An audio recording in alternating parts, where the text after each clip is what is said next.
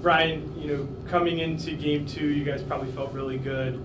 Tough loss in overtime. Can you just talk about what the message was after that game leading into this game? After that game, we basically told them, look, we had that one. We let it slip through our fingers. But the great thing about a series is we get a chance to redo it. We get a do over. So, you know, we came in tonight.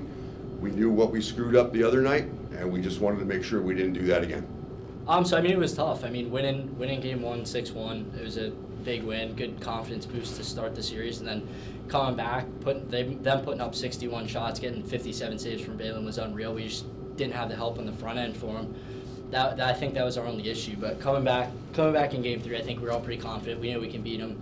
Um, it was just all confidence thing and playing the right way and playing how we know we needed to play. Yeah, it was a really tiring game. Like I went home and my legs were shot.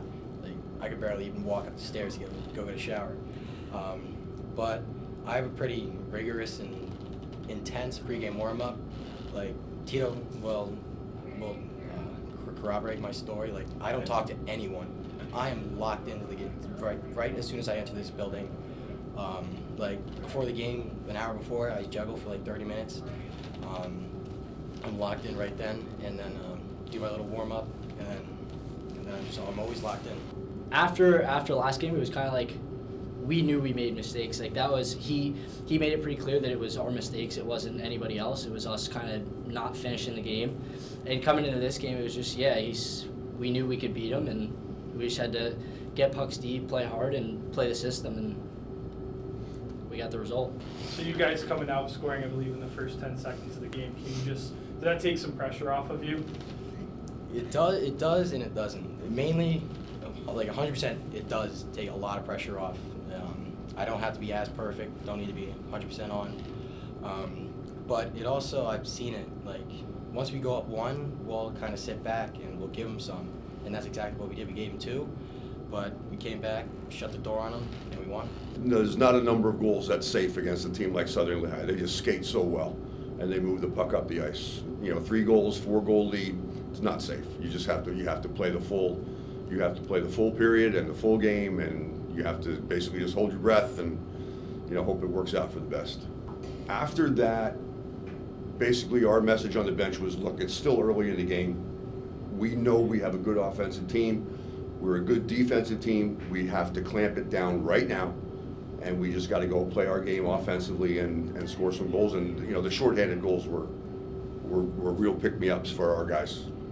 How happy are you with your goalie situation? I mean, you got it pretty made right now. You know what I'm really happy about? He's only a junior. He's back next year. Love it. So this is fantastic. Tight game in the second, kind of broke loose there for a shorthanded goal. Can you just walk us through that play? Yeah, I mean, I was I was coming back in the zone, and it just kind of happened to come out to me, and got the opportunity, and know I needed to make it happen.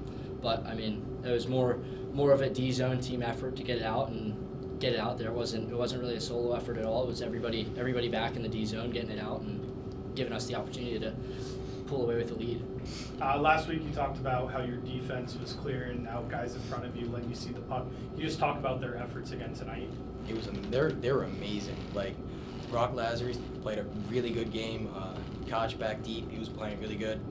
Everyone listened to me. Like I was telling them where they were in center, they were talking back.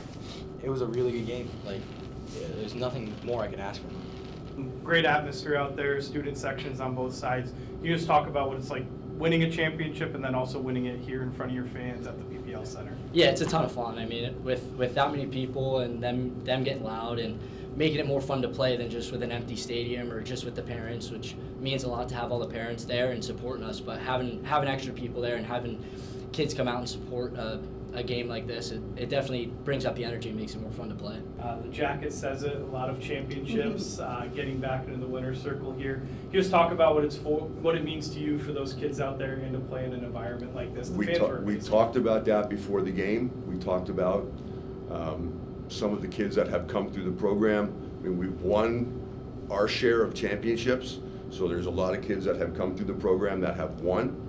There have been, however, some kids that have come through their four years, ninth grade, 10th, 11th, and 12th, and have not had a chance to go out and play in a situation like this. So we kind of were playing for them, you know, because they didn't get a chance to do it. So we wanted to we wanted to do something special for those guys. So hopefully they were here with us and, you know, they, they know this is partly for them also.